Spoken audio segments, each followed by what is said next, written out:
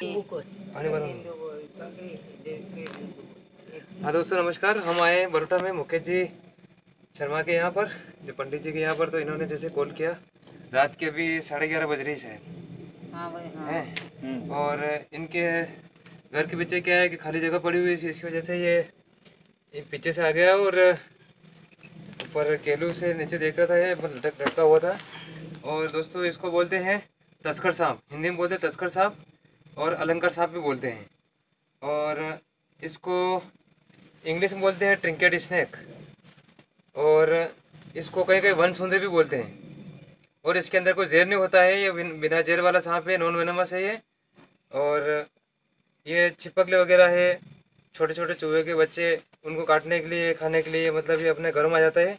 बाकी इसमें कोई जेर नहीं होता है और इसकी अभी जो लंबाई होगी लगभग लगभग ये होगी दो दो फीट के समथिंग हाँ दो दो फीट दो ढाई फीट के लगभग है ये।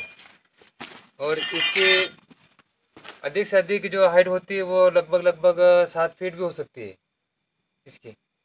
और इसके अंदर कोई जेर नहीं होता है ये बिना जेर वाला है। लेकिन ये एस बना के मुँह फुला के फिर काटता है। बहुत ज़ोर से बाइट करता है ये भी। हाँ नहीं नहीं। ठीक है। एक बन्नी ले आओ।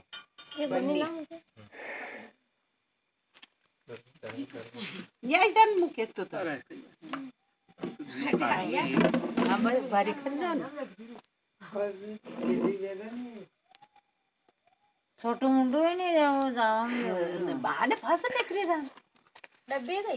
रात्री देखते हैं तुमने इन पकड़ी ने मेला में राज़ी जातो रे ठीक है। हाँ।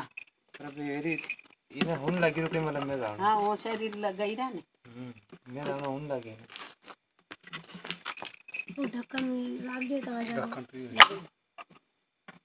हाँ बे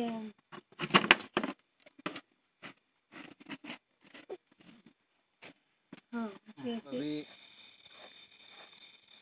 ट्रिंकेट स्नैक को रेस्क्यू करके लाए थे तो उसको उसके अनुकूल वातावरण में रिलीज़ कर देंगे। पहले तो बार बार निकल रहे थे